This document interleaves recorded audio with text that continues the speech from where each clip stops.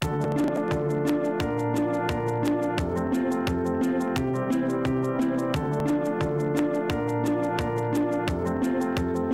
Saludos, ¿cómo están? Bienvenidos a esta retransmisión en directo de la sexta edición de la gala de entrega del Premio Urensanía, un galardón que concede la Diputación Provincial y que este año recae en la figura de José Sousa, un urensano afincado en Venezuela, productor de cine, propietario de la productora Xenon Films, que ha conseguido este premio en esta edición.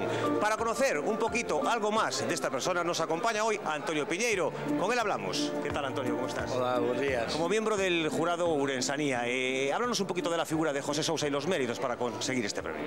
Pois José Sousa é unha figura realmente, certamente descoñecida en, en Ourense, porque el marchou con 14 anos para dende a súa aldea natal, ali en Ver, no Concello de Ramirás, para Venezuela, eh, dedicouse a traballar toda a súa vida no ámbito do, do cine, eh, e realmente a súa nai os, eh, quedaron en, en en Venezuela, ela morreu en Venezuela, entonces el perdeu de alguma maneira unha conexión familiar directa con, con Ourense, con, eh, e con, coa súa aldea, eh, por eso non viña, viña con frecuencia a España, pero non viña con tanta frecuencia a Ourense, por eso é unha persoa descoñecida en Ourense, aínda que fixo nos, hai uns anos un intento de eh, participar no, no Festival de Cine de Ourense, pero bueno, por circunstancias non, non coallou, eh, entonces, pero eso non quita que sea un Ourensán dos pés a cabeza, que se manteña como Ourensán dos pés a cabeza,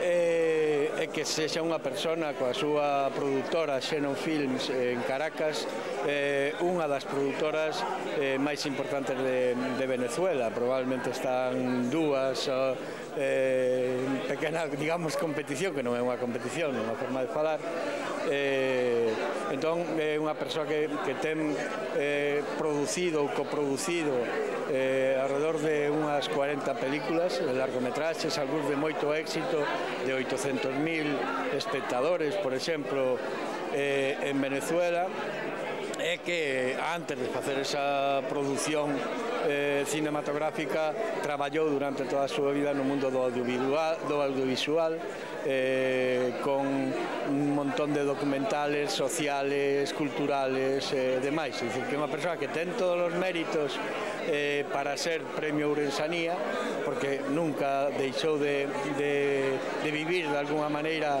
eh, ao seu inicio en, en Ourense, o seu, a súa súas primeiros anos en Ourense e que profesionalmente realmente é un ourensán eh, que nos está representando no mundo. Tiveches a oportunidade de a repercusión que ten o seu traballo ali en Venezuela porque via, viaxaste a Caracas.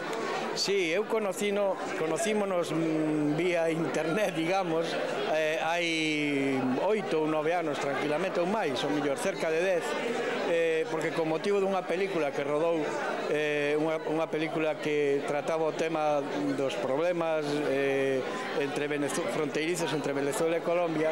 Eh, eu fixen unha entrevista para, naquel momento, tiñamos a revista Aurea da región, eh, entón fixen unha entrevista para, para a revista Aurea e contactamos naquel momento. Eu no, no mes de xullo eh, entón eu sabía da súa trayectoria, mantiñamos contactos, e no mes de xullo eu fun a Caracas invitado pola Hermandad Galega para participar eh, nunha charla alrededor de, da figura de Pepe Belo, outro ourensán que no seu momento eh, tuvo moita importancia en Venezuela por, con motivo do seu centenario e eh, coincidimos na Hermandad Galega, non? Eh, entón, bueno, por de alguma maneira que le serviu para recuperar a, a nosa relación anterior eh, nos días que tuve a fortuna de estar en Venezuela eh, bueno, pues, eh, estuve, tuve a oportunidade de participar de, de estar na rodaxe dunha película, estaba no, prácticamente pechando a rodaxe dunha película,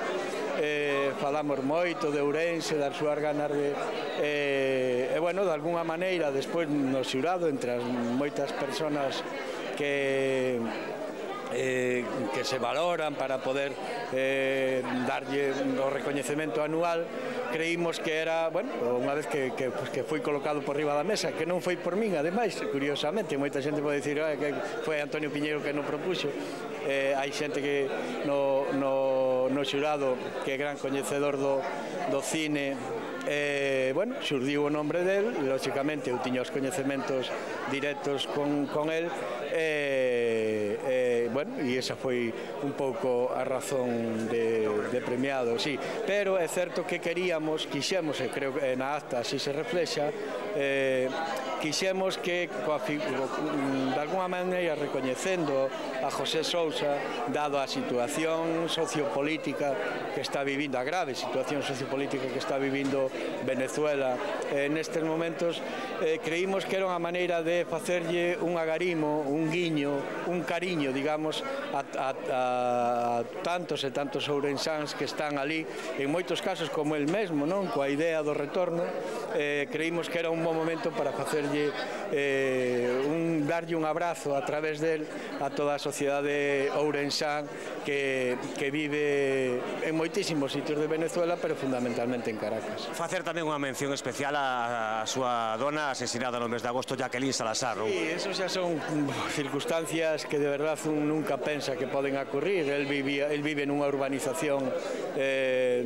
da zona este de Caracas, eh, na urbanización Miranda, unha urbanización grande na que eh, poden vivir o millor 6 ou 7 mil persoas eh, completamente vallada, con cámaras de seguridade, con eh, eh, o último que puderon esperar foi precisamente o que lle pasou a Jacqueline, a súa muller, que formaba parte do proxecto empresarial con, eh, con José Sousa, non? da produtora, eh, porque dispararon e quixeron atracar precisamente a porta da súa propia casa. Eso pasou eh, a finais do mes de, de agosto, eu levaba de regreso aquí dúas semanas prácticamente, eh, foi un impacto brutal. Eso reflexa de alguna maneira o, esa tra, a súa traxe, propia traxedia personal reflexa, é un reflexo da situación, da trágica situación. Estou utilizando palabras fuertes, pero é a realidade, é dicir, basta estar un día en Caracas para darse un conta eh, de que neste momento Venezuela é un país, eh, é un Estado. Felipe González dio no libro de Leopoldo López que eh, que é un Estado fallido, eh, eu creo que nestes momentos é un Estado en descomposición. ¿no? entonces eh, bueno, pues esa circunstancia o que acabou facendo foi, eh, de alguna maneira, sumar a todos os méritos, ademais, ese non é un mérito, desgraciadamente, non, bueno, non, ni moito menos, pero creímos que era o reflexo da situación grave que está vivindo a sociedade ourensán, a venezolana en, en en total, pero a Ourensán e a Galega para nós en particular eh, e creímos que era a mellor maneira de, de facer visible esa situación, pois de alguma maneira era premiar a, a José Sousa nese. Non por eso, é dicir, non se premia por eso, sino por todos os méritos profesionais que ten, eh, pero sí creímos que era eh, un como abrir hoxe dende Ourense o día de San Martiño unha festa para nós que a vivimos con toda a despreocupación eh, poder abrir unha ventana hoxe que os ourensanos de aquí moitos dos que están aquí e van estar no teatro seguro que teñen algunha relación, segurísimo, algunha relación con Venezuela a través dun familiar, dun amigo, dun... Eh, entón creímos que, que era abrir unha ventana a Venezuela e dicirlle aos ourensáns que están en Venezuela eh, nós non, vos, non nos olvidamos de vos porque Venezuela, cando é Venezuela o Bolívar estaba a 30 a 30 pesetas, tampouco se olvidou de Galicia, unha parte moi grande de Galicia eh, viviu e eh, mellorou economicamente gracias a, a ese diñeiro que traían os emigrantes a, a Galicia. Non? Estes días tamén pudeches eh, disfrutar dunha pequena mostra do seu traballo do, con tres películas en Ceranova que se proxectaron. Sí, eh, sí como el, el non é do Concello, non é natural do Concello de Ceranova, é dunha aldeña que está mesmo ao lado no Concello de Ramirás, pero para el, el viu a súa primeira película no Cine Regueiro en, en Celanova, eh, el dice, conto e probablemente o diga aí, eh, cando cando viu aquela película dixe eu quero dedicarme ao cine, un pouco como eh, Cinema Paradiso, non? A historia de Cinema Paradiso, pois a él pasoulle eh, dunha maneira así. entonces como realmente, como él, él eh, o traballo del é eh, descoñecido aquí, creímos oportuno eh, mm, eh, pois, pues proxetar tres películas no auditorio ali en Celanova para quen quixera pudera ver unha pequeniña mostra, eso non quita que máis adiante se fagan máis aquí no Teatro Principal. Estaría ben facer algún ciclo sí. aquí no Ourense. Sí, sí, sí, eh, a idea, a idea é precisamente esa. Eh, eh, eh, mm, promovimos que viñera antes para poder estar para poder estar nese festival no que quixe estar aí uns anos e bueno, nas circunstancias non quixeron que estuvera eh, coñecer o, o actual director de do Festival a Frangallo eh, que ademais eh, vai un pouco na línea e este ano o festival así, o, así se manifestou ainda que agora fora timidamente de que probablemente o Festival de Ourense teña que botar unha mirada hacia Iberoamérica eh, bueno, pois pues aí hai ourensáns en Iberoamérica que están traballando no, no, no audiovisual e no cine que poden botar unha mau tamén para, para engrandecer o Festival de Ourense non? entonces nada, foi unha prim primeira mostra das súas películas, tres películas moi bonitas, unha eh, El manzano azul é unha película preciosa, unha eh, unha obra dulce eh, entre o conflito xeneracional entre un neto que vai de Caracas eh, con toda a tecnoloxía metida na cabeza e chega tres meses a pasar a vida co seu avó no, nun, nunha aldeiña na que hai a casa del prácticamente e non hai nin electricidade eh, bueno, ao final ese, esa relación que empezou tan distante acaba xuntándose. O segundo día foi unha película que se titula El Malquerido que é a vida dun cantante de boleros dos anos 50, 60 eh, de Caracas, que foi cantante da, da tan coñecida eh, orquesta Villos Caracas Boys, eh, e que, bueno, morreu tráxicamente aos 31 anos. E onte proxectouse unha película, eu non tuve a oportunidade de vela, estuve, estuve precisamente aquí no, no teatro principal, un pouco vendo a pre o, o ensayo do, do acto de hoxe, eh, titúlase La casa del fin de los tiempos, eh, é unha obra de suspense, entre suspense e terror, eh, que o, o guión eh, compraron yo a, hai unhos meses comprou yo mm, a productora del Señor de los Anillos eh, pretenden facer un remake en, eh, en, en Hollywood, ¿no?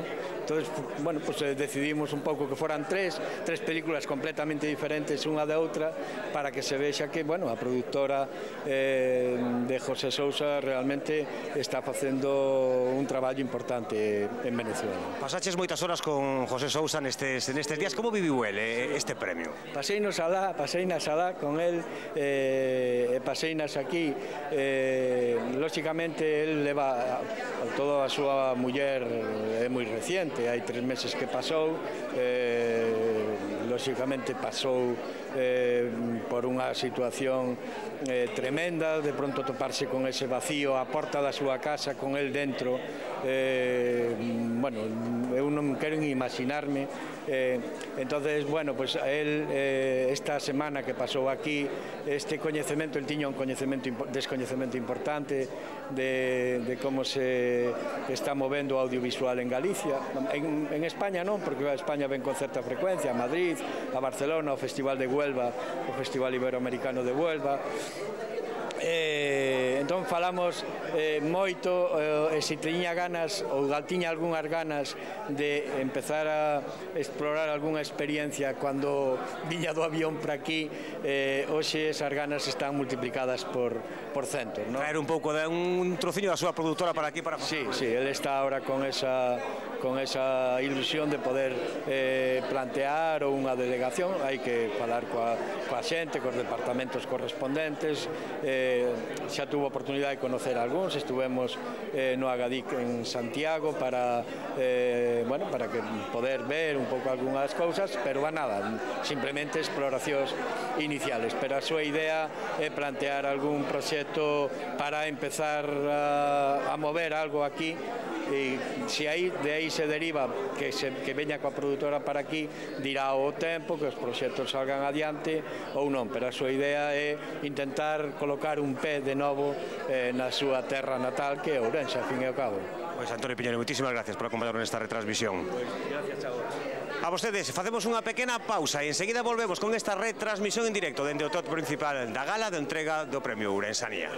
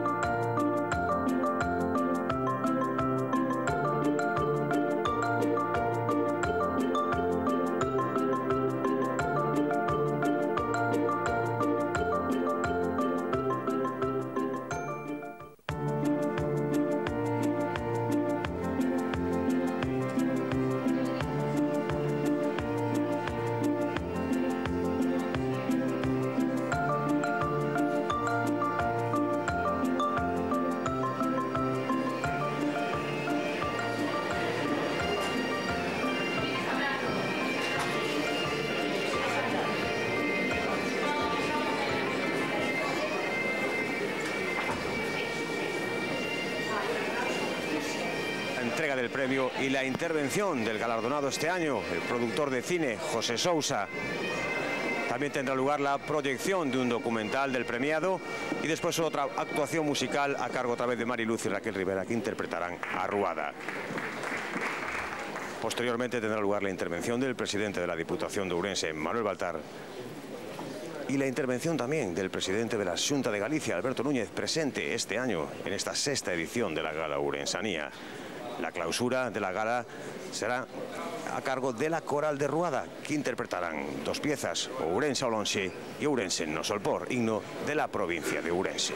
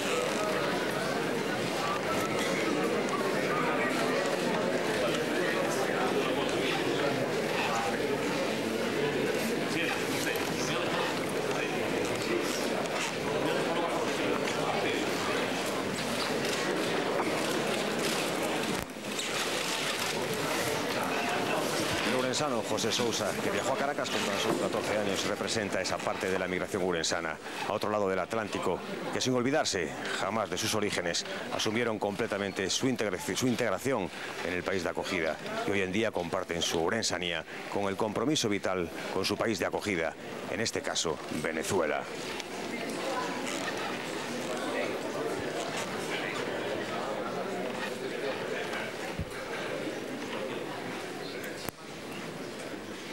También quiso hacer una mirada especial a la compleja situación sociopolítica que vive hoy en día Venezuela y aprovechar el nombre de José Sousa para enviar un mensaje de afecto y de solidaridad a la comunidad ourensana en particular y a la gallega en general que está viviendo en una situación muy complicada.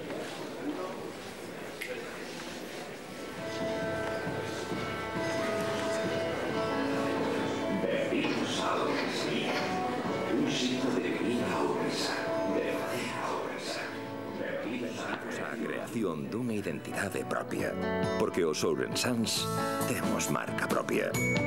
Estamos en todo o mundo. E todo mundo está en nós. Bebemos de tradicións milenarias. Xurdimos das fontes do tempo. Contamos de ti. Dicimos, Eiki, anos moda. E ás veces vestimos de traxe e gravata. A nosa terra é de todas as cores. Emprendemos en pausa novos camiños. Somos xente emprendedora. Poñémolo o corazón en cada castaña. Mirámonos no espello do río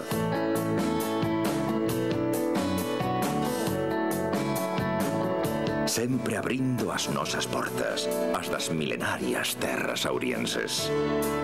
Damos a benvida a un símbolo que representa todos estes valores, pero tamén o sinxelo, o sorriso. Un símbolo que será o propia identidade.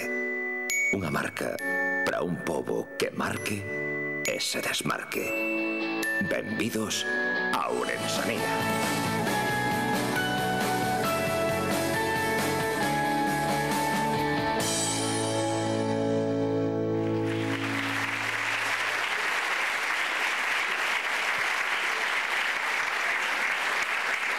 Bos días, amigos e, amigas da Ourensanía. Van xa tres anos que este escenario do Teatro Principal nos acolle para celebrarmos o Premio Ourensanía no Día de San Martiño, a nosa festa maior, e co que a Deputación Provincial quere recoñecer públicamente a xentes de Ourense, nacidas ou non, pero de Ourense a fin e ao cabo, que manteñan unha especial vinculación coa provincia e que teñan destacado nas súas facetas persoais, sociais, profesionais ou intelectuais. Facémolo neste caso a ás portas do que na próxima semana será o primeiro Congreso Internacional sobre a figura de San Martiño de Tours, patrón da nosa provincia e, en consecuencia, patrón da Ourensanía.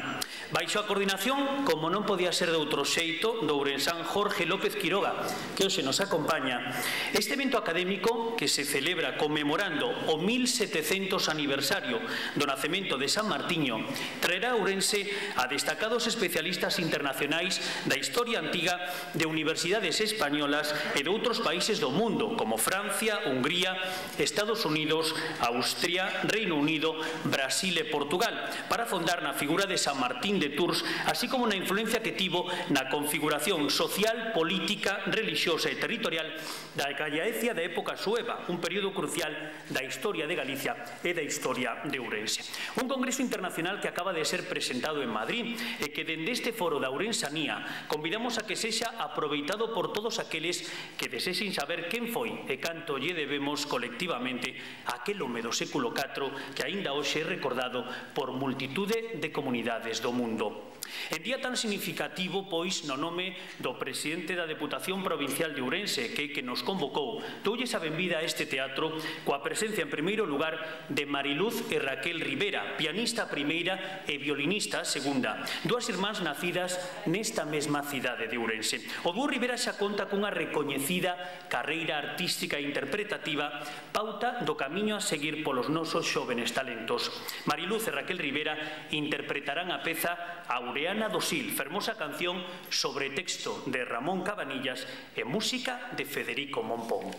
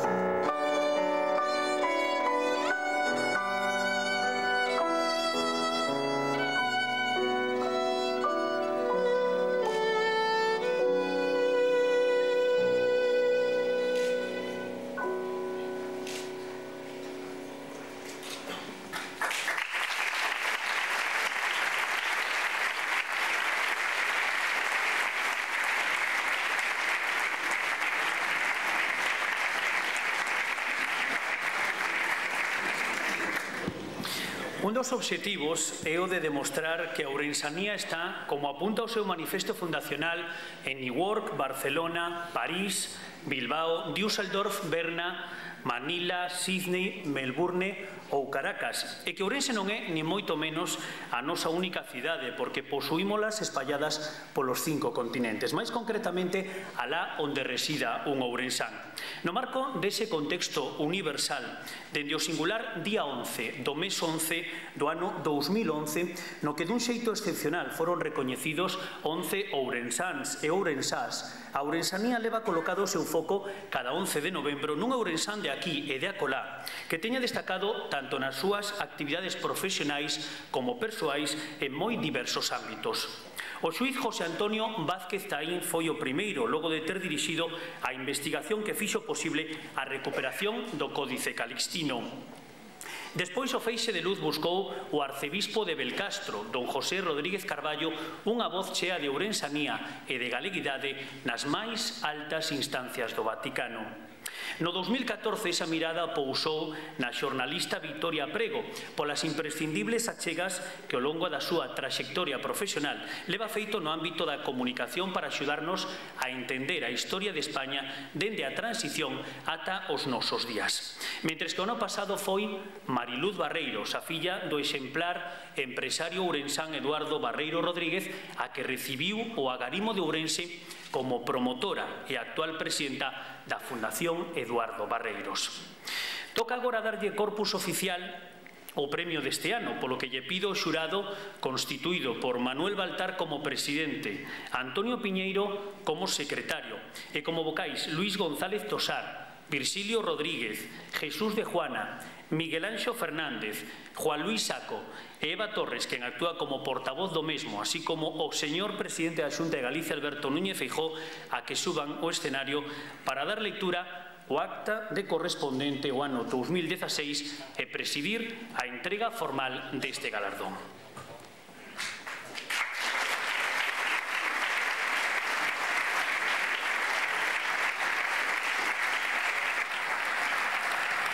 Debo informarme, entre tanto, que o premio é un recoñecemento simbólico representado por esa fermosa figura de bronce obra do escultor Xosé Cid que irá acompañada dunha copia da acta que dá fe da súa concesión. Ten a palabra a portavoz do xurado Eva Torres.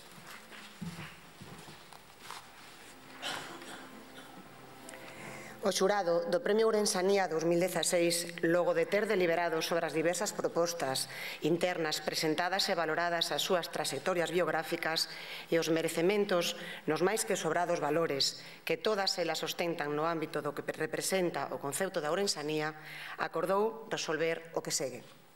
Concederlle o Premio Ourensanía 2016 a José Sousa Gómez, produtor de cine e propietario de Xenon Films, pola súa longa carreira cinematográfica en Venezuela, que o ten colocado entre as primeiras produtoras cinematográficas daquel país e situado como un dos nomes imprescindibles dentro da industria cinematográfica venezolana. Nacido no lugar de ver, Ramirás, O traballo de José Sousa no ámbito da industria cinematográfica venezolana contase a través de centos de producións audiovisuais, curtametraxes, documentais, spots publicitarios, etc., realizados ao longo das tres últimas décadas. Se ven, o seu prestixio como cineasta aséntase na implicación en preto de 40 longametraxes como El manzano azul, Reverón, El malquerido ou La casa del fin de los tiempos, que teñen conseguido os máximos niveis de aceptación por parte do público hispanoamericano e que manteñen instalado na vanguarda permanente da cinematografía da América Latina. Ourensán José Sousa, que viaxou para Caracas con tan só 14 anos, representa esa parte da migración ourensá do outro lado do Atlántico, que sen esquecerse xa máis das súas orixes, asumiron completamente a súa integración no país de acollida e hoxe en día comparten a súa ourensanía co compromiso vital co seu país de adopción, neste caso Venezuela. O xurado desexa facer mención explícita, ademais, a súa dona Jacqueline Salazar, asasinada a finais do mes pasado de agosto por mor do clima de desatada delincuencia no que conviven hoxe en día os venezolanos e que, aínda sendo venezolana de nacemento, era unha gran admiradora de Ourense. Sen a intervención de Jacqueline Salazar como vicepresidenta de Xenon Films, non sería posible entender tan abondoso traballo na industria audiovisual venezolana como o que ten levado a cabo a, cabo a de bandita productora. Con este recoñecemento, o xurado desexa a si mesmo pousar unha mirada sobre a complexa situación sociopolítica que vive hoxe en día aquel país e ao mesmo tempo aproveitar a figura de José Sousa para enviarlle unha mensaxe de afecto e solidaridade á comunidade galega de Venezuela, en xeral a Ourensá e en particular que están vivindo nunha encrucillada histórica, víctimas da descomposición social dun país o que tanto lle debe económicamente a nosa provincia.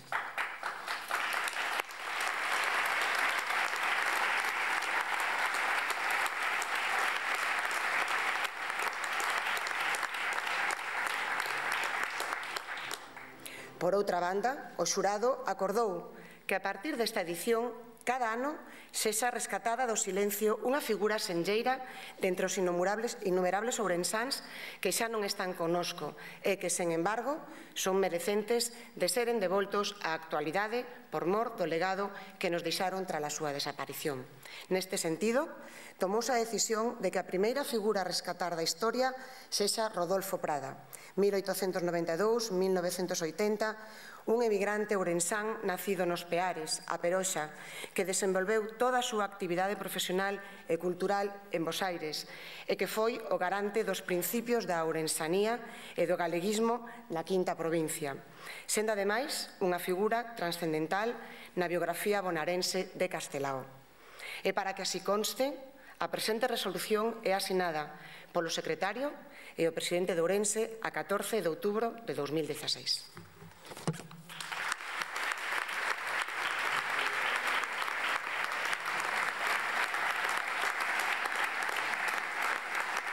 E xa sen máis dilación, agora sí convidamos a don José Sousa a que se achegue tamén este estrado para recibir a través destes presentes simbólicos o cariño de todos os ourensáns que seguro que lle darán azos para facelos propios e axudar a divulgar polo mundo os valores xerminais da Ourensanía.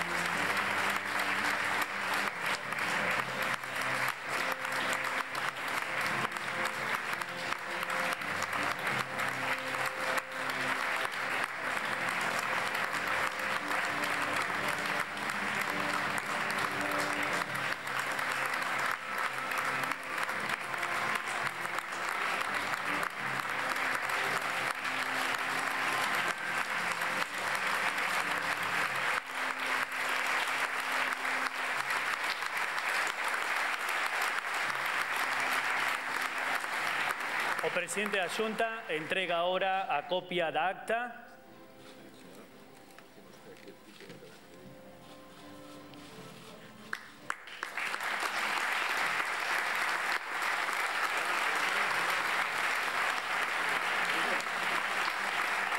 e o presidente da Deputación a figura de Xosecis.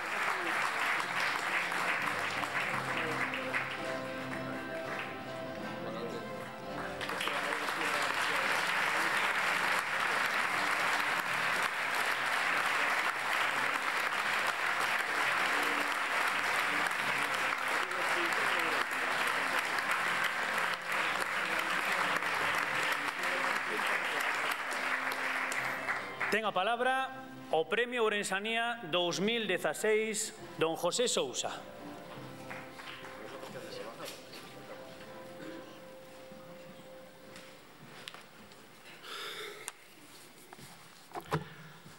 Vaya emoción, Dios mío. Bueno, la verdad que... Perdonen que me salgan palabras de, de vez en cuando de, en castellano, este, pero sei falar o galego perfectamente, sempre se falou na miña casa, levo 50 anos fora de, da miña terra, donde nacín, pero a veces se me pasa, se me olvida, pero no, Eh, levo oito días aquí e xa creo que o recordo perfectamente. Gracias por estar aquí y gracias por esto que está sucediendo. Estoy aquí gracias a los miembros del jurado de Ourensanía, a quienes agradezco ahora y agradeceré siempre por considerarme para este premio que significa tanto para mí y que me hace sentir inmensamente orgulloso. Gracias, José Manuel Baltar. Gracias. Agradezco también a todas las personas involucradas en la organización y promoción del premio, de las autoridades presentes, a todas las instituciones y personas que han hecho posible mi presencia y a todo el público que ha venido a acompañarnos en este día. A todos ustedes de nuevo, mil gracias. Cuando me dieron la noticia de haber sido distinguido con el premio Ourensanía y luego cuando supe que estaría presente en vuestra compañía, lo primero que pensé, después que pasó la emoción del momento, fue, ¿qué sabe la gente de Orense de mí? ¿Qué sabe de mí? Realmente fui el primer, a mí en Venezuela conocerme sabe que no tiene José Sousa. Ah, no, ya sé quién es, Senunfil, tal, pero aquí no, porque yo no he logrado, yo de verdad, no es una queja por ningún motivo, no he logrado que mis películas se exhibieran aquí. Pero bueno, esto parece que es como, como la entrada por toda la puerta grande. Imaginé que quizá alguna información se daría a anunciar el premio, pero me preguntaba si no sería importante contarles muy brevemente mi historia. Me di cuenta que si los contaba mi pequeña historia, lo estaría haciendo por primera vez en mi vida. Yo realmente nunca hablo de mí, de verdad que no me gusta. Pero, ¿qué otra cosa? Ustedes tienen que conocerme y yo tengo que, y ustedes sepan quién también soy yo. Hablar, discutir o argumentar con productores de cine y televisión es algo a lo que sí estoy muy acostumbrado. A mí todos los días me llega una persona que me va a hacer rico. Yo digo, no, no, no, tú, hazte rico tú, ¿para qué vas a venir junto a mí? Sencillamente esto es así, esto del, el cine es un negocio, o sea, por lo menos al nivel que estoy yo. Este, pero, pero bueno, siempre viene mucho una persona que siempre me cuenta eso. Pero ¿quién soy? Para quienes no lo saben, yo nací no muy lejos de aquí, en un pequeño pueblo que irónicamente lleva el nombre de Ver, que justamente ver el sentido de la vista, la curiosidad por descubrir. Son los elementos fundamentales del cine y la televisión, mi profesión, mi vida. En este pueblo, en ese pueblo que como casi todos los pueblos parece a primera vista olvidado por Dios, las posibilidades de entrar en contacto con la industria cinematográfica parecía, desde la perspectiva actual, muy pocos probables. Pero no fue así. El cine es un arte cuya principal característica es el de tener un alcance ilimitado. Alcance ilimitado que no sabe de épocas, ni distancias, ni de geografía.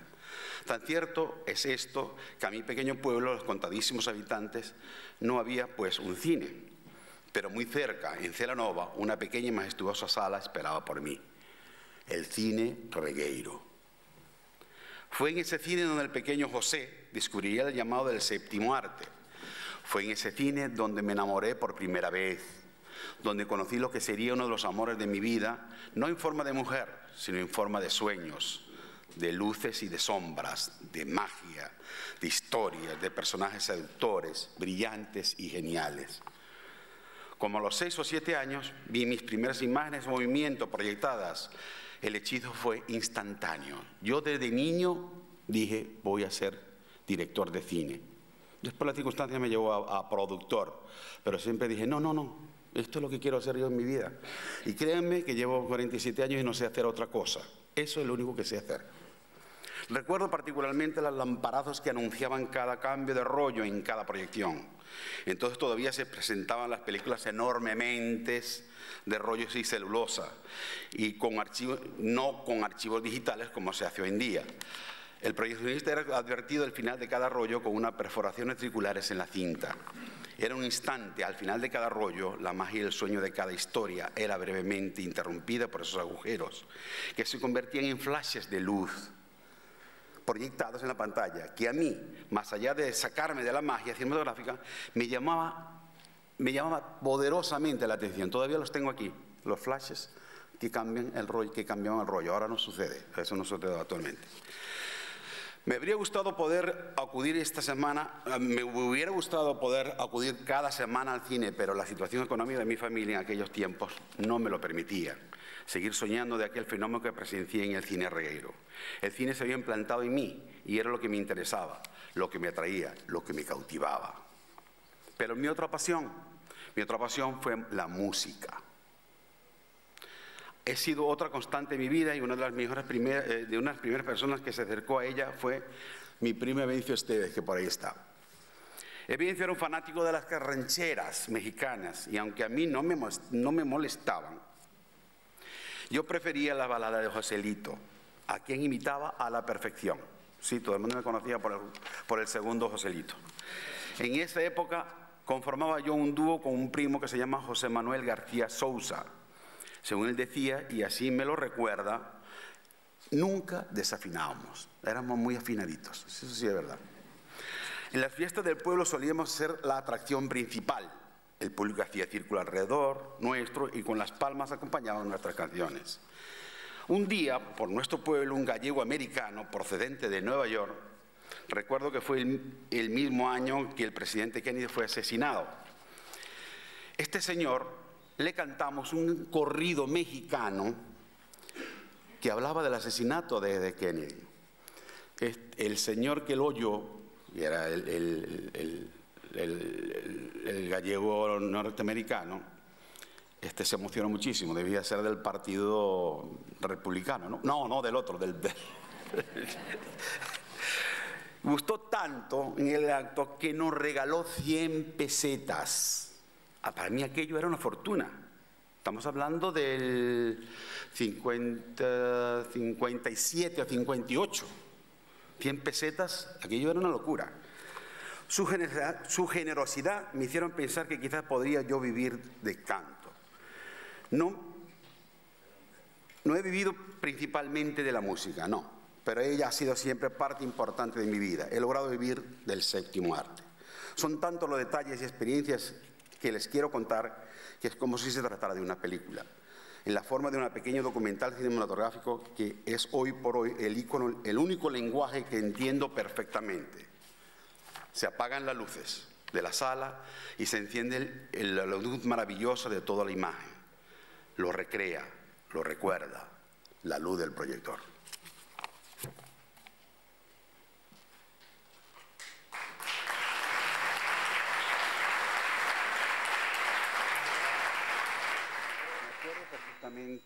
el viaje del pueblo de Ver hacia la ciudad de Vigo.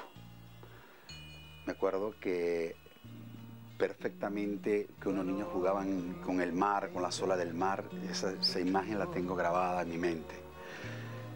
Me acuerdo cuando llegó el Begoña y me monté en el barco del Begoña, era un barco que iba lleno de inmigrantes, pero lleno, a más reventar. Nos íbamos, parece que nos íbamos todos. Era la época, de la, época donde, donde, todo el mundo, donde todo el mundo emigraba. Pero llego a Venezuela. Mi, mi, llegada a Venezuela me topo nuevamente con el personaje que más me ha influenciado en toda mi vida, que era mi hermano Julio, que ya llevaba dos años viviendo allá. Él era un personaje para mí fue el de mayor influencia que haya tenido. Él era torero. A mí me gustaría saber si cuántos, gallegos han sido toreros. Él era torero, novillero, pero eh, tenía su éxito. Eh, yo siempre sentía que tenía mucho más éxito era con las damas. Y aquello realmente a mí me molestaba profundamente porque él además lo, él, lucía eso frente a mí y a mí aquello me molestaba tremendamente. Pero yo, yo me preguntaba, pero ¿y este tipo qué, qué, tiene que yo no tengo ese mismo? Porque yo sufría un mundo para conquistar a una muchacha. Como tocaba bien la guitarra, yo dije, ya va. Yo también tengo que pensar y tocar mejor la guitarra que él. ¿Y qué decisión tomo? de inscribirme en un conservatorio de música para estudiar guitarra clásica y teoría y solfeo. Mi hermano me empuja, en cierta forma es, es, es, esa persona que me empuja a que yo fuese, a que yo tuviese esa, esa vena artística y que la desarrollara, pero ya en el mundo académico. Hablo con dos amigos míos, que se llaman Luis Suárez y Enrique Suárez. Eran dos hermanos, ellos, tocaban, ellos también tocaban muy bien la guitarra, cantaban muy bien, y decidimos hacer un grupo que se llamó el Grupo El Triángulo. Era la época de Allende, entonces cantábamos canciones de protesta.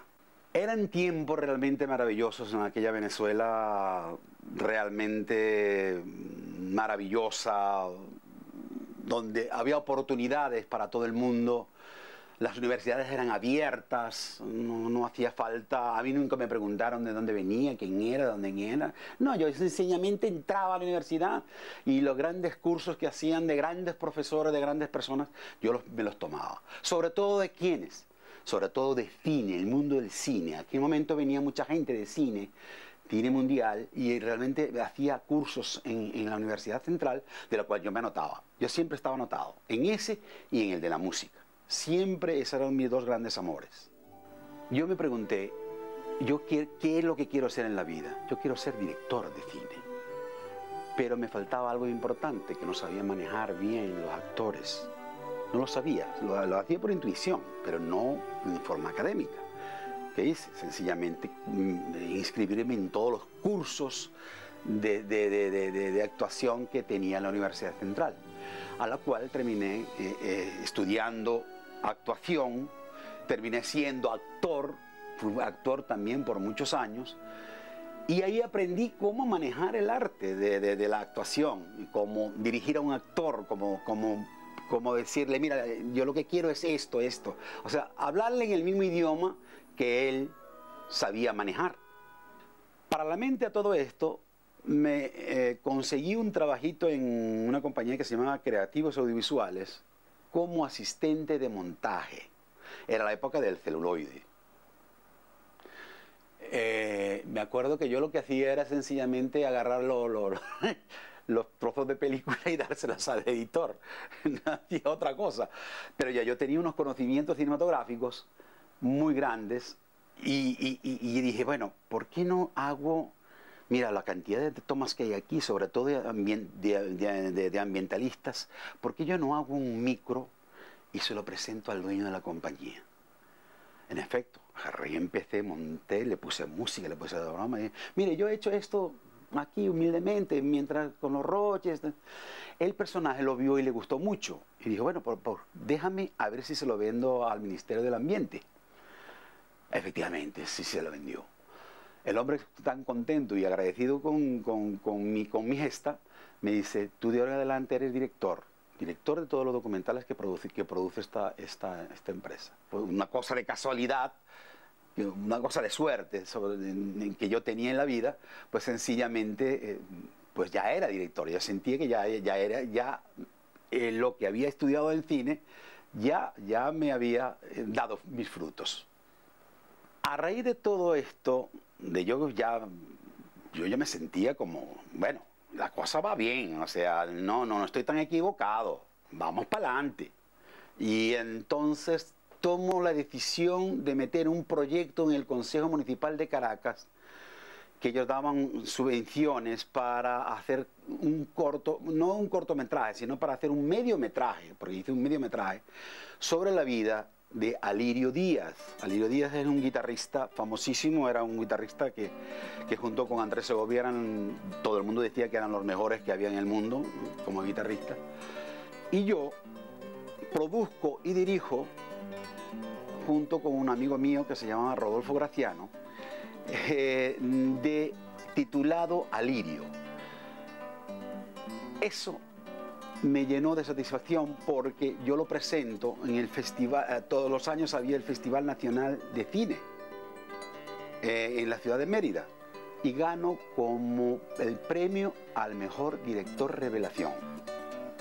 Aquello fue como la espuma. Yo sentía ya, dije, bueno, nada, o sea, ya filmé en 35, en 16, ya estaba haciendo videos y dije, bueno, ya nada, ya, yo, yo me sentía que era director. La guitarra siempre tuvo que ver mucho con mi vida, muchísimo. Entonces tomo la decisión de presentar una serie de 14 capítulos sobre la guitarra y la titulé La guitarra a través del tiempo. Eran una serie de 14 capítulos eh, de media hora donde hablaba del desarrollo de la, de la, guitarra, de las grandes interpretaciones, de intérpretes, donde, bueno, tenía realmente tenía un muy buen presupuesto. Y la televisora nacional, que en aquel momento se llamaba Canal 5, que era una televisora cultural, me lo compra. Lo cual dije, bueno, nada, a, a echarle pichón.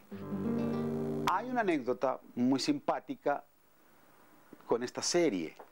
Eh, por aquel entonces el canal transmitía una telenovela brasilera que se llamaba La esclava Isaura, que batió todos los récords, pero todos, no es que uno, de aquellos mantenía a, Venezuela paralizada en ese momento. Resulta ser de que el señor, eh, el que programaba la serie, me dice, José, a mí tu programa, eh, tus documentales me encantan, a mí me gusta la guitarra, te voy a transmitir antes de que empiece la telenovela el capítulo anterior. Y al final de la telenovela te voy a transmitir el del estreno. Bueno, imagínense ustedes, aquello fue como la espuma, o sea, todo el mundo hablaba de mí, quién era este señor, qué hacía, que no sé qué, y aquello para mí fue realmente realmente un, un, escalón inmenso. Y yo dije, bueno, aquí ya llego al cielo, pues. Claro, ya siendo tan conocido, me, me, me conecto con la industria petrolera, o la industria petrolera se conecta conmigo.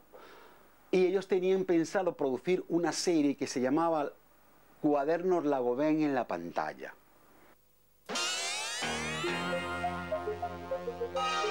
Cuaderno Lagoven pretendía eh, guardar la memoria histórica de grandes artistas venezolanos. O sea, es, un archivo que existe todavía dentro de la industria petrolera.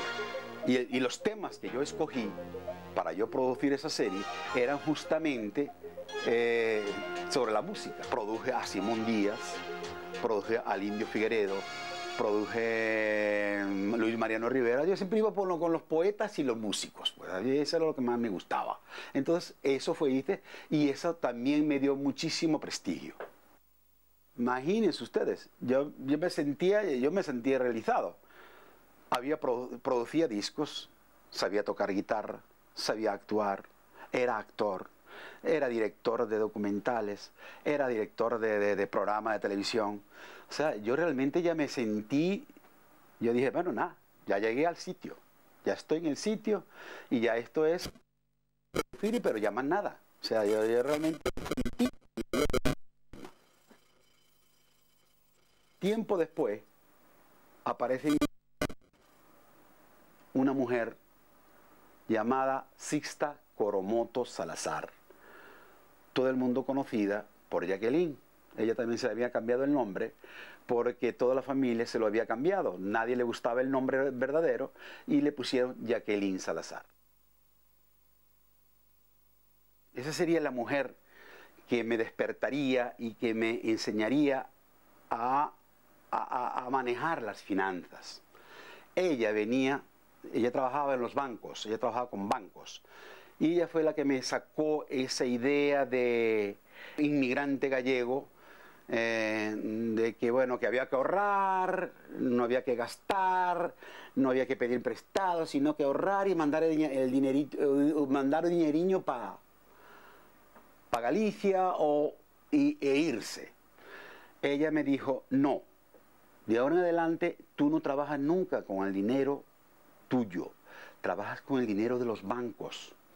En efecto, eso fue lo mejor. Ella sí realmente me abrió me abrió eh, un horizonte que sería realmente eh, extraordinario. Ella comentó, me dijo, vamos a montar una empresa de verdad, verdad grande para hacer cosas grandes.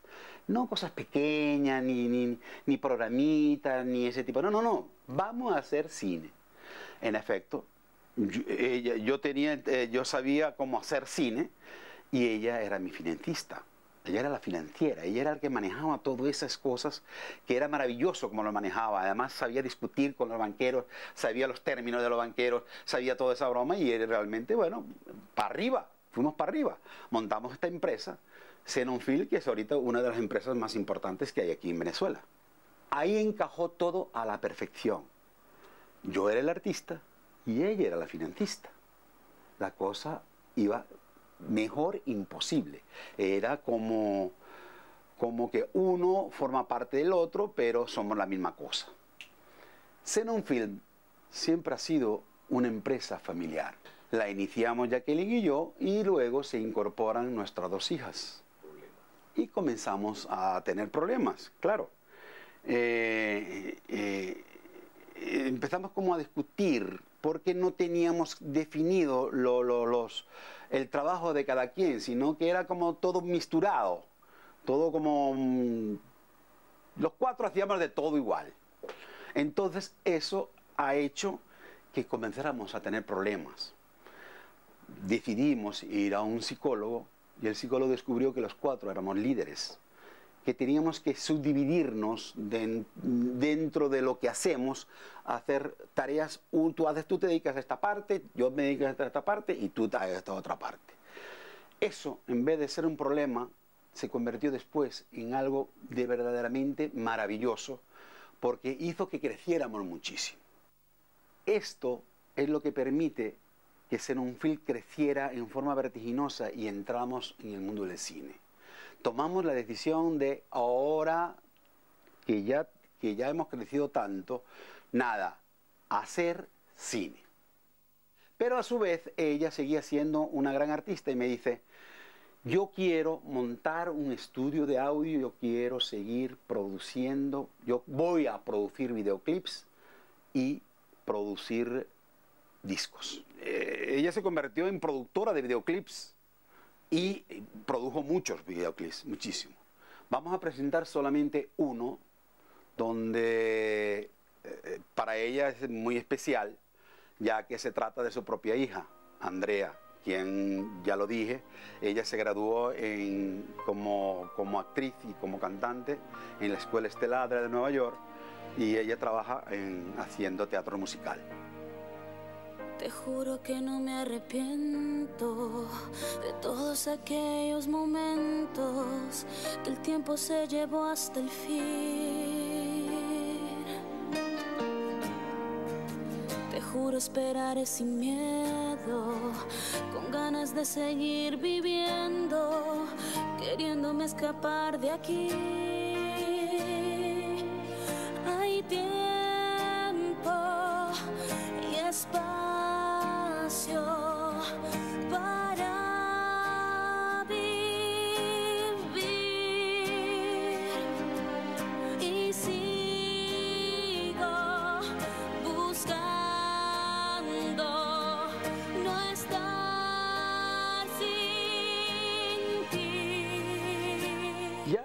La compañía tenía todos los equipos, ya éramos mm, sumamente conocidos, mm, ya estábamos en el tope, pues. En Venezuela estábamos muy bien, incluso producíamos cosas para, para Latinoamérica, varios países vinieron aquí a coproducir con nosotros y realmente nos, nos iba muy bien. Pero hay una persona a la cual yo quiero mencionar que es para mí, para mí fue muy importante, que se llamó Mauricio Wallenstein. Él es hijo era hijo, perdón, que falleció hace tres meses, de eh, don Gregorio Wallenstein, que fue el productor de cine más importante que tuvo México. Él un día me agarró y me dijo, mira, yo andaba con el dilema que si quería ser director o quería ser productor y él sencillamente me lo dijo así, pues muy mexicano. Mira, compadre, porque éramos, éramos compadres. Mira, véngase para acá, este, eh, lo importante es ser productor porque eres el dueño de las películas. Lo demás es pura pendejada. No te pongas a venir. Vete directo a ser productor. Y después harás, dirigirás, harás lo que te dé la gana.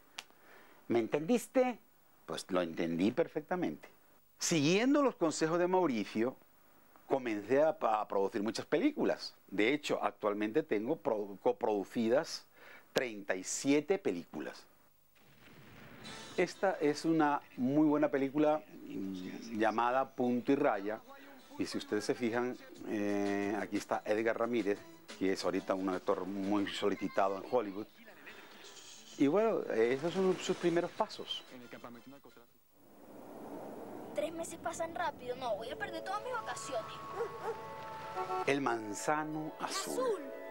Esta es una película hecha con otro de mis compadres, eh, Olegario Barrera. Me acuerdo que nos sentamos y dijimos, yo quiero hacer una película realmente que nos recuerde nuestra infancia. Él es canario, pero vivió, era del hierro, pero parece que vivía en la parte muy verde de la, isla. Yo no conozco la isla. Y yo dije, bueno, Galicia es verde toda. Entonces ahí fue que la hicimos, la hicimos en el estado Mérida, disfrutamos mucho y es, es recordar un poco nuestros tiempos de nuestra infancia. Mi papá no es lo que tú dices. Tú lo que dices es pura mentira. No, no te quiero ver más nunca. Samuel, esta es una película muy, muy, muy pequeña, de verdad muy pequeña. Es una, esta es una con el concepto de producción de cine átomo. Éramos en total, con actores, éramos 13 personas. La película es pequeña, de verdad, es muy pequeña, pero en el mundo de los festivales ha tenido muchísimo éxito y hemos tenido varios premios, incluso la mejor película del año en, el, último, en el último festival de Margarita eh, en lo cual nos dieron el, premio a la mejor película venezolana. Ese bolero es mío, desde el comienzo al final. El mal querido es la vida de un gran bolerista venezolano que, que en su época fue el bolerista más conocido en América Latina, eh, que se llamó Felipe Pirela. Esta es una recreación, es un musical eh, y bueno, ha tenido muchísimo éxito. Esta es una película que se estrenó este año y que bueno, que nos fue muy bien. Eh, ya, se, ya se está exhibiendo en casi toda Latinoamérica. Reverón es la historia de un pintor venezolano muy famoso que se, llama, que se llamaba Armando Reverón. Eh, nosotros hicimos la recreación de su vida y de su obra. Acordémonos que sus cuadros están en el MoMA de Nueva York y es uno de los grandes pintores que, que él pintó la luz, la luz del trópico. Y eso fue su gran importancia al mundo plástico.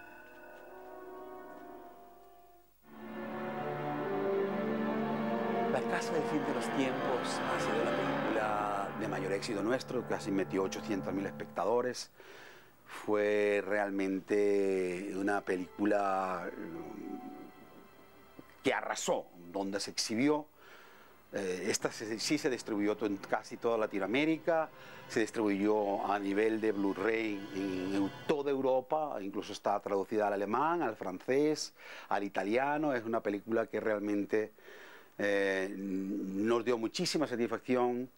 Eh, tiene por lo menos unos 32 premios, aunque ustedes no lo crean, tiene 32 premios. Y es una película que ganó un premio muy importante en Hollywood sobre el mundo de, suspenso y fue exhibida en el Teatro Chino de, de Los Ángeles. Pero no solamente eso, sino que también los productores de eh, el Señor de los Anillos, la productora, mejor dicho, de El Señor de los Anillos, compró los derechos para hacer un remake en Hollywood. Verde Salvaje es una película muy importante porque además con muchísimas dificultades porque estuvimos filmando debajo del en el mar metidos eh, a cierta, a cierta profundidad.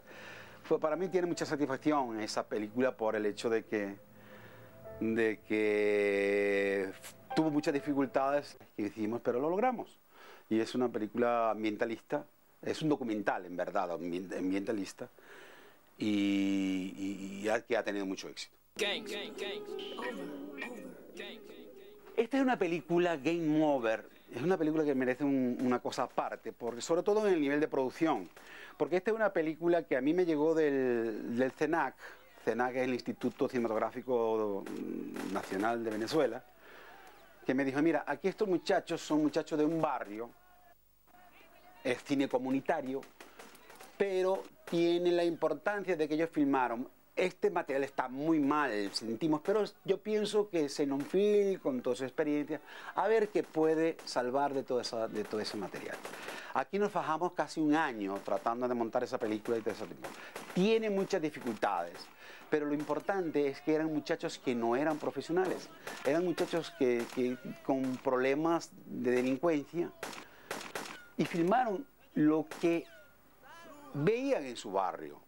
Una violencia terrible, esta misma violencia que vivimos actualmente, eh, y es el reflejo, eh, lo, para mí dramático del asunto es que ellos no ven otra cosa más que un revólver y un montón de tiros. También tenemos un lote de películas que están por estrenar. Una de ellas es Pequeña Historia, es una película mmm, intelectual, de todo, de todo punto de vista, es dirigida por una persona que, que vivió toda la vida en, Polonia, tiene la, la, la, escuela polaca. Es una película muy interesante, yo tengo muchas expectativas de ella, sobre todo a nivel de, prestigio, vamos a estar claros. Y creo que eh, es una película que tiene creo que 80 planos, no tiene más hora y media, 80 planos. Pero todo lo que pasa allí en, en, los 80 planos realmente es muy, muy interesante. La película titulada Los 8-6 es una película con la temática social venezolana. Es una película fuerte, una película, eh, una película que realmente no va a dejar indiferente a los espectadores porque eso es algo que estamos viviendo.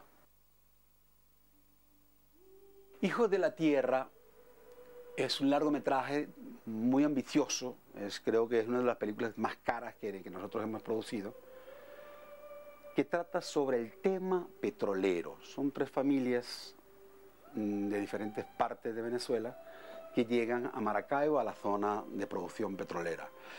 Es la historia de Venezuela, en verdad, porque ya todos sabemos la importancia que ha tenido el petróleo en este país.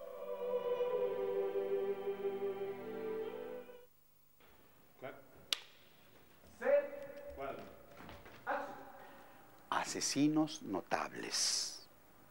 Esta es una serie de seis capítulos, muy de moda actualmente. Es la primera vez que yo produzco y estoy metido en una.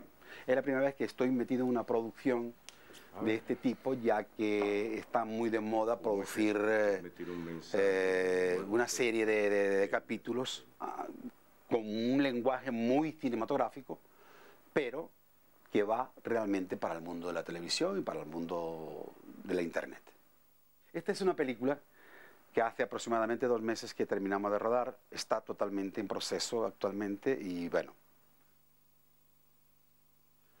Y por último, hay otra película que se está rodando a partir de, mañana, por cierto, mañana, mañana, el día 12 comienzo a rodar una película que, ya, que se llama Yo Imposible.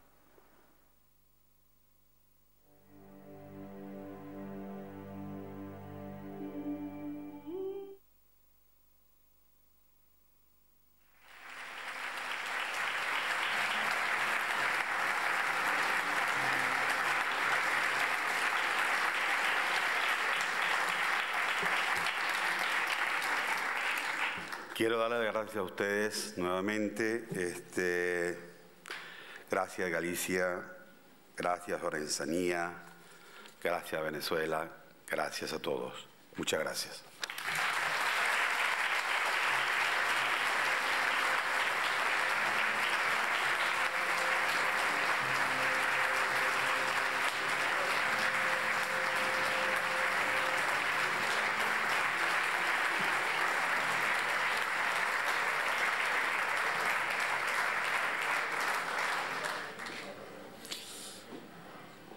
Agora que todos sabemos un pouco máis sobre don José Sousa, entre outras actividades a da súa faceta musical, volven ao escenario Mariluz e Raquel Rivera para interpretarnos Ruada, danza de inspiración popular e con especial encanto de Marcial de la Dalid.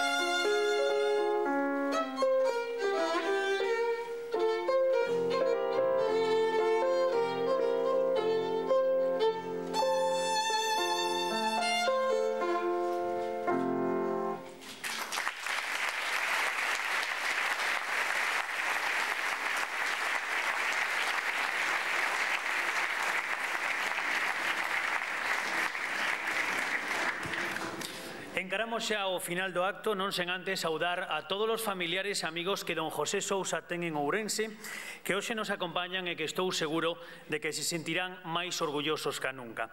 Intervén agora o presidente da Deputación Provincial de Ourense, don Manuel Baltar, a quen convido de novo a subir o estrado.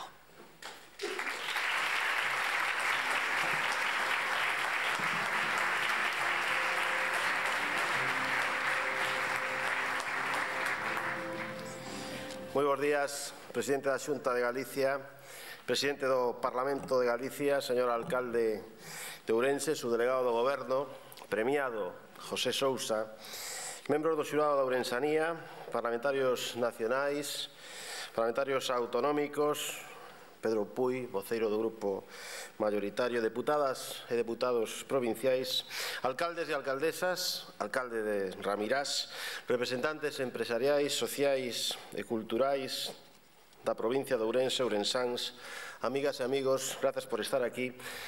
Grazas a todos os que nos están a ver en directo dende Telemiño, a televisión de Ourense. Neste 2016 celebramos o 1700 aniversario do nacemento de San Martiño de Tours, o noso patrón, un santoral que compartimos os ourensáns con Hungría, a súa terra berce, e con Francia o territorio onde o santo propagou e difundiu o cristianismo.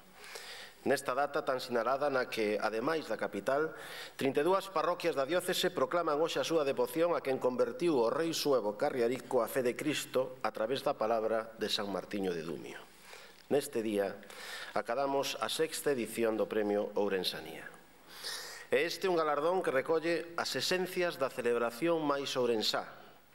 En primeiro lugar, a valentía de San Martiño, que, como vostedes saben, foi soldado e tamén, como non, a súa xenerosidade, virtude que o caracteriza e que perdurou durante 1700 anos.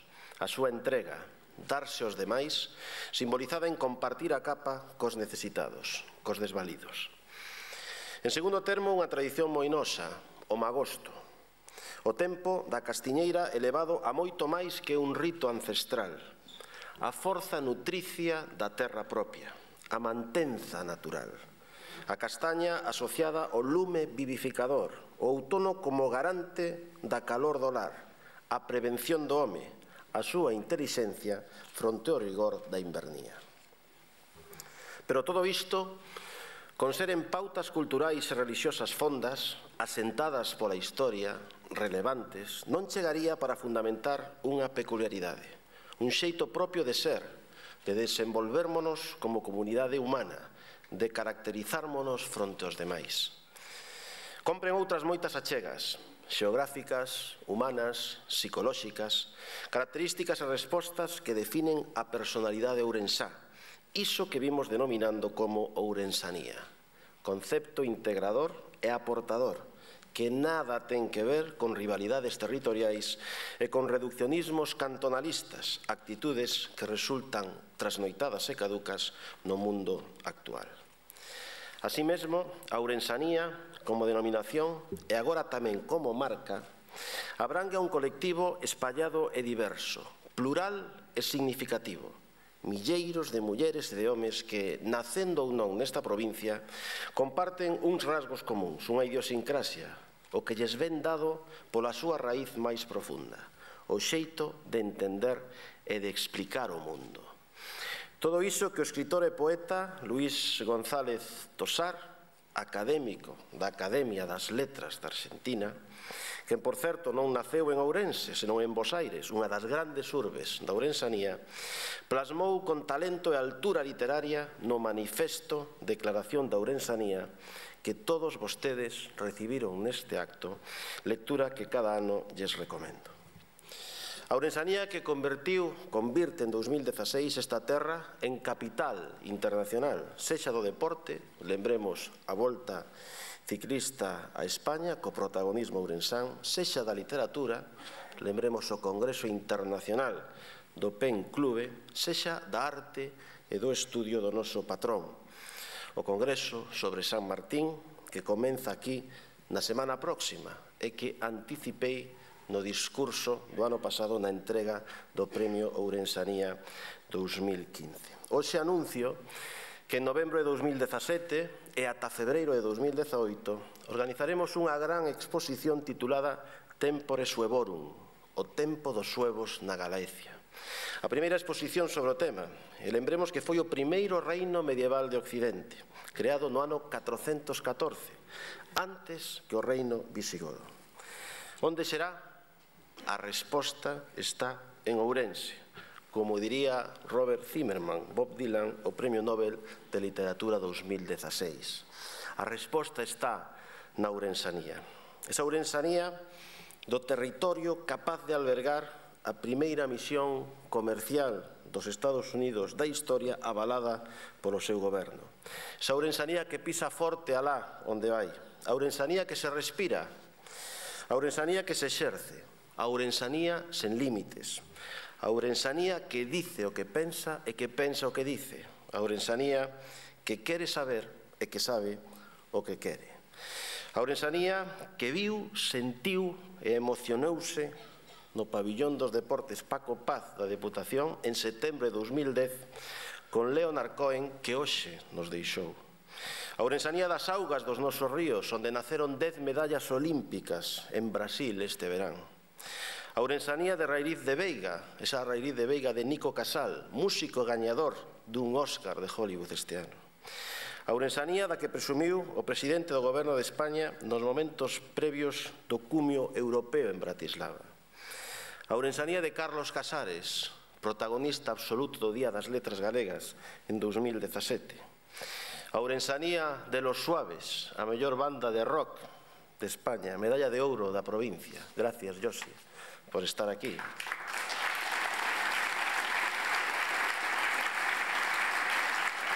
En definitiva, trátase, como sabemos, os ourensáns e a ourensanía, trátase de ver medrar a erva, trátase de liderar, trátase de ter discurso, trátase de estar preparados e formados, trátase de non dubidar, trátase de facer e trátase de crear. E hoxe, os 11 premiados e premiadas da primeira edición xa histórica do día 11, do mes 11, do ano 11, complementados con Vázquez Taín, na edición 12, con Frei Xosé Rodríguez Carballo, na edición 13, con Victoria Prego de Oliver, no ano 14, e con Mariluz Barreiros en 2015, sumamos, digo, o nome de José Sousa. Un ourensán de ver no Concello de Ramirás, nado en 1951 e que emigrou moi novo a Venezuela, a quen agora coñecemos moito máis, visto o que acabamos de ver da súa man. A pesar desa circunstancia, José Sousa non esqueceu nunca dúas marcas da Ourensanía, a súa terra nai, a galeguidade máis fonda, e o seu interese pola arte, neste caso cinematográfica, as películas, como il dixo, que lle transmitían emoción e que o deslumbraban no cine regueiro de Celanova. Non é o caso de reiterar a súa traxectoria, xa coñecemos un pouco máis. Dende os 18 anos traballou moi duro, loitando contra vento e marea ata chegar a ser un referente da actividade cinematográfica venezolana. Hoxe, a súa produtora Xenon Films con 37 películas, é unha das máis importantes empresas audiovisuais, non só de Venezuela, senón de toda Iberoamérica. Premiou o xurado a un orensán exemplar, a un home feito a si mesmo, a un ser humano que, a pesar da traxedia familiar que lle tocou afrontar recentemente, síntese ourensán, galego, español e venezolano. Unha prova evidente desa ourensanía integradora e multicultural da que eu antes falaba, que nos reafirma na identidade cun país, compartido con todos os galegos e galegas, cunha fala propia, o cerne do noso ser e cunha cultura a través da cal abrímonos o mundo enteiro. José Sousa é traballador, José Sousa é creativo, José Sousa é emigrante. Reúne as tres cualidades principais do povo de Ourense. Somos así. Así mesmo é un honor para a Ourensanía, unha honra e un deber patriótico tirar do inxusto esquecemento a figura do ourensán Rodolfo Prada Chamochín, que naceu nos Peares o 28 de agosto de 1892 e que finou en Bos Aires o 3 de novembro de 1980. Outro pearense ilustre, querido presidente. Foi Prada unha das figuras máis relevantes do movimento galeguista na República Argentina e en toda América. Dende o tempo das Irmandades da Fala, 1916, das que conmemoramos este ano o seu centenario. Por certo, emuladas a xiña na capital porteña por un grupo de ourensáns, Francisco Lamas, Julio Carballo, Gaspar Oitabén, Manuel Ares de Parga, os que logo se uniría Rodolfo Prada, motor da Irmandade Galeguista a terra de Bos Aires. Pois dende o tempo das Irmandades da Fala ata os avatares políticos e sociais dos últimos anos 70, encamiñados a lograr un estatuto que non fose un aldraxe para o noso povo. A personalidade de don Rodolfo Prada destaca con luz propia. Un home conciliador e de consenso, sempre fiel ao ideario galeguista, autonomista convencido, amigo personal e colaborador de Castelao na derradeira década da vida do Guilleiro en Bos Aires, sendo seu albacea testamentario, Rodolfo Prada participou en todos os movimentos políticos e culturais da Galicia de Alenmar. Por iso, señor presidente da Xunta, aproveito a súa presenza neste acto para solicitarle apoio do seu goberno no próximo 17 para facer cousas conxuntamente co goberno de Ourense nese 17 longo do cal conmemoraremos con actividades, publicacións e actos relevantes nos Peares, en Ourense e mesmo en Bos Aires o 125 aniversario do nacemento do seu ilustre paisano Rodolfo Prada. Lembremos o seu coterráneo, Rodolfo, que deu todo por Galicia, sen pedir nunca nada a cambio. Persoeiro do galeguismo, entendido como ideal dos voces xenerosos, como lexítimo autogoberno dunha nacionalidade histórica que acaba de confiarlle a vostede, señor presidente, por terceira maioría democrática, a responsabilidade de gobernarnos. Os de dentro e os de fora. Impulsemos esta autonomía que, en palabras de Rodolfo Prada, dicía literalmente, debe ser permanente lavarada que quente os nosos corpos e que ilumine os nosos pensamentos que nos integre facéndonos respetar no concerto dos povos de España, que avance e nunca se deteña, que asuma os nosos dereitos e obrigas para que, sendo célula de universalidade, sexamos fillos dignos da nazón de Breogán da bendita terra nosa. Moitas grazas a todos e a todas, queridas amigas e amigos, grazas por sentir Ourense, grazas por facer Ourense, grazas por creer en Ourense. Grazas a todos os que participaron neste acto, a Juan Maceiras, magnífico comunicador, a María Luz e Raquel Rivera, orgullo de Ourense, Raquel vende dirixir en Berlín o Festival Fase, un encontro sobre arte sonora. Grazas á Real Banda de Gaitas, embaixadora musical desta terra, este ano premiada a nivel nacional pola Fundación Excelencia que preside a Raíña Sofía, grazas á Coral de Ruada, a piques de cumprir 100 anos de vida, unha institución da Urensanía. Esa ourensanía que ve hoxe como dous fillos desta terra, Alberto Núñez Feijó e Miguel Santalices, presiden o Poder Executivo e o Poder Legislativo de Galicia. Grazas, presidente Feijó, por poñerte de novo a disposición de Galicia, esa Galicia que decidiu novamente que a lideraras. Desexamoste moitos éxitos na andaida que comezas mañá, porque os teus éxitos serán os de todos serán os éxitos de Galicia e serán os éxitos de Ourense. Amigas e amigos, feliz día do Ourensanía, viva Ourense. Moitas grazas.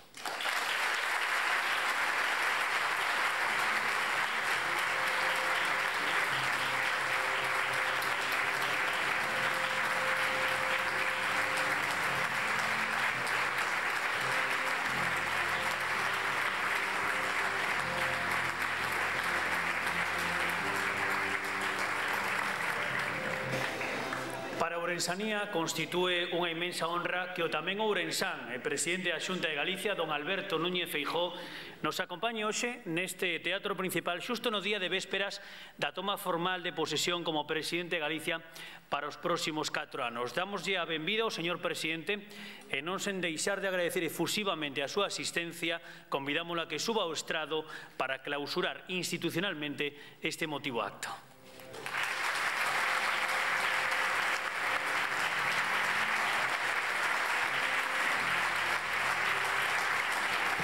Moitas gracias.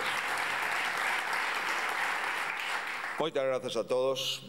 Parafraseando o comunicador deste acto, que remata xa, veciños e veciñas naceran onde naceran e en consecuencia de Ourense. Autoridades, señor presidente da Diputación, señor alcalde da cidade, señor presidente do Parlamento, señor subdelegado, deputados e deputadas en Cortes, parlamentarios autonómicos, membros do xurado, Señoras e señores, é unha grata circunstancia como decía o presidente Baltar, que eh, o meu primeiro acto público despois de obter a investidura no Parlamento na tarde de onte como presidente de Galicia sexa na provincia onde nacín, en Ourense. E é unha grata circunstancia porque comparezo hoxe aquí para festexar unha identidade universal, que chamamos Ourensanía. Unha identidade que nada ten que ver co local, que nada ten que ver co provincial, nin siquiera só con Galicia, senón que é unha identidade universal que chamamos Ourensanía, senón non podía ser o noso patrón un húngaro con relacións en Francia e patrón de Ourense dende fai 1700 anos. Amigos, a Ourensanía é, sin dúbida, un concepto inteligente. E todos os conceptos inteligentes en Ourense se apoian. E tamén agradezo a comparecencia de hoxe para poder galardoar a dous expoñentes de esa epopea galega que é a migración. Ourense, Caracas e Bos Aires forman un triángulo definidor do noso país. Un país que se fixo máis grande sin necesidade de recorrer a anexións ou a invasións. Formamos un imperio sentimental, un imperio sentimental onde tampouco hai solpor, gañado con afectos e gañado con simpatías. O noso exército pacífico está formado por homes como José Sousa Gómez ou como Rodolfo Prada Chamochín, armados coa imaxe e armados coa palabra. Grazas a moitos como eles, é ficticia a superficie galega que establece a cartografía convencional. Así o demostrou un orensán o que podemos considerar o fundador da verdadeira teoría da relatividade.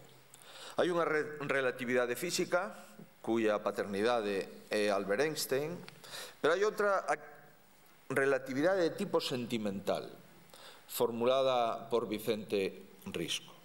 Con ela quiso responder o autor o porco de pé, a xente de mente cativa que se mofaba da pequenez de Galicia.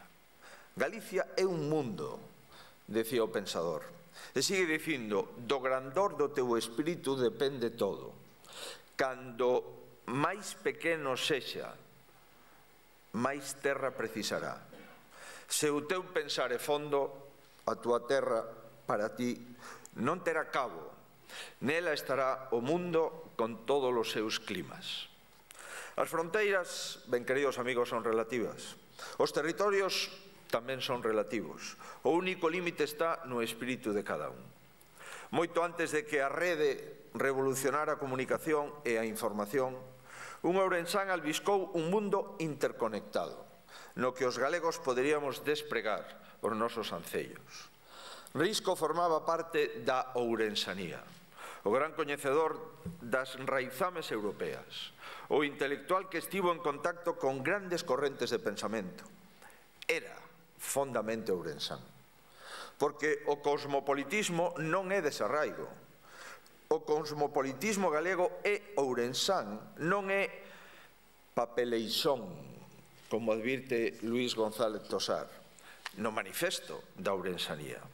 O coñecemento directo da emigración permite detectar unha característica propia das comunidades galegas que outras comunidades expatriadas non teñen.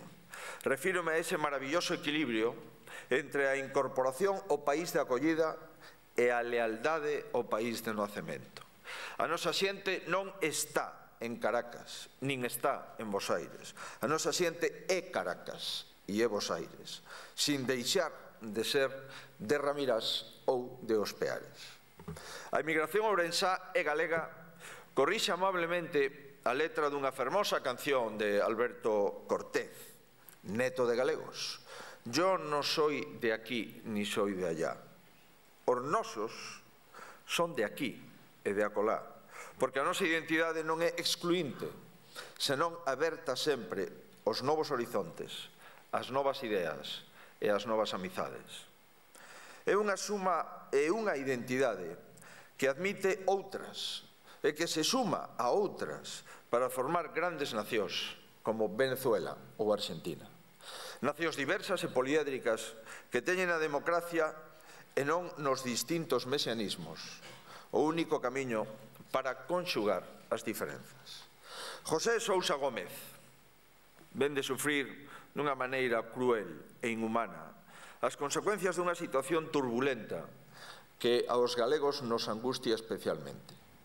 A política ten consecuencias. A mala política pode frustrar o futuro dun país, de un país que posúe todos os requisitos de benestar e de convivencia. A boa política A boa política é capaz de administrar o conflito e tender pontes que eu tanto admiraba de neno nos peares. Pero o esencial da política democrática é que permite rectificar, non fai traumáticos os cambios ou relevos, non exixe mártires, nin tolera verdugos.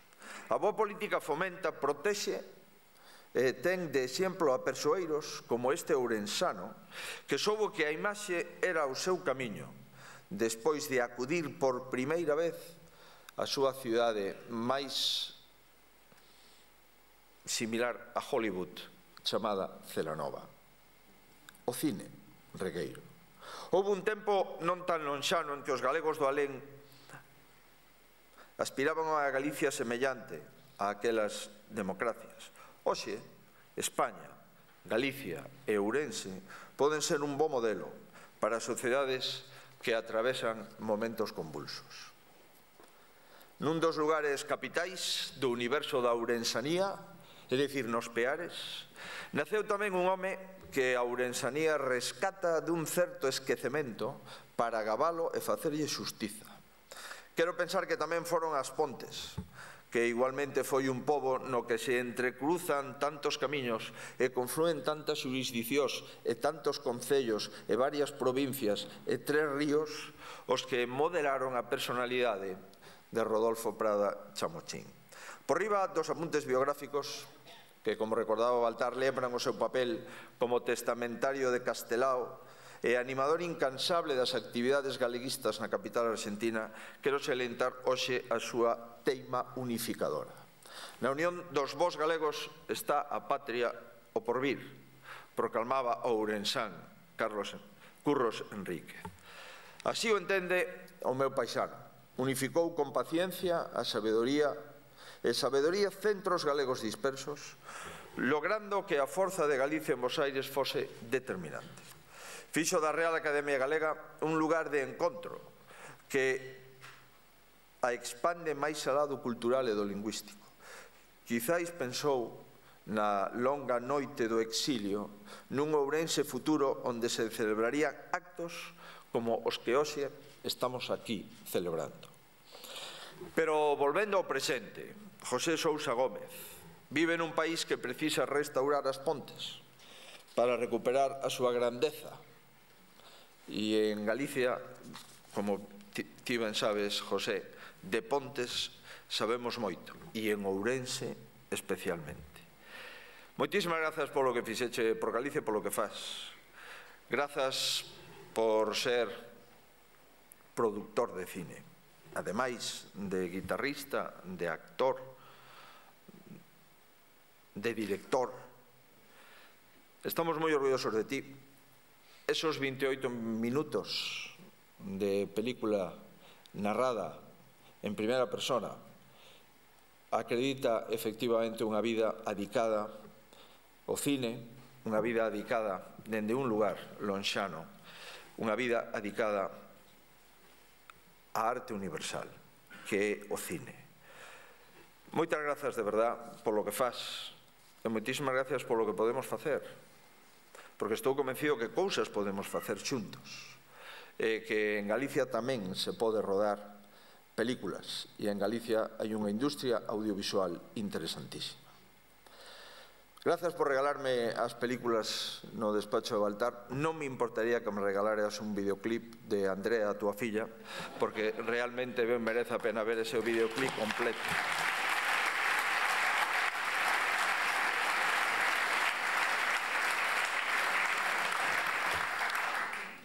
Como ves, a ourensanía consiste en ver a erva.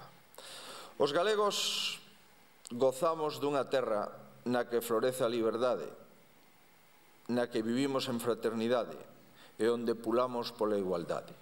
Unha terra na que se cultiva a identidade, a ourensanía, que con acerto se promove dende a Diputación e é un ingrediente esencial de ser galego é un ingrediente esencial de ser galego que encara con confianza o século XXI. Efectivamente, eu agradezo. Esa explicitación ourensanía non é ningún chamamento cantonal. En Ourense non nos gusta ser pequenos. En Ourense pensamos en grande. Unha persona que naceu en Ourense síntese orgulloso de onde naceu, con independencia onde este unha persona que naceu en Ourense, sabe que a terra que o alumbrou é unha terra especial que nos outorga unha sensibilidade especial, unha retranca especial, unha forma de pensar especial, unha forma de sentir especial e unha forma de entender a vida especial. Eh, se unha vida se entende só reducida a un territorio, é unha vida cativa. Cando a vida se entende reducida ao universo, é unha, unha vida universal. Por eso, queridos amigos, eu volvo a sentirme moi orgulloso de estar aquí e volvo a sentirme moi orgulloso neste século, neste século XXI, onde a teoría da relatividade do noso Vicente Risco será unha certeza. A relatividade, queridos amigos, é o sentimento, é a amizade. Con iso se construe todo. Co resto non se construe nada, senón que se destrue todo. Gracias por seguir facendo este tipo de actos. Creo que son actos de unha enorme xenerosidade, como somos en Ourense. Son actos que trasladan un carácter especial. Nos sentimos orgullosos de nacer aquí. Xa sei que hai moitos ourensás polo mundo, pero todos pensamos o mismo. Si tuviéramos que volver a elegir onde nacer, estou convencido, absolutamente, que todos os que tivemos o privilexio de nacer en Ourense volveríamos a elegir nacer en Ourense. Moitísimas gracias.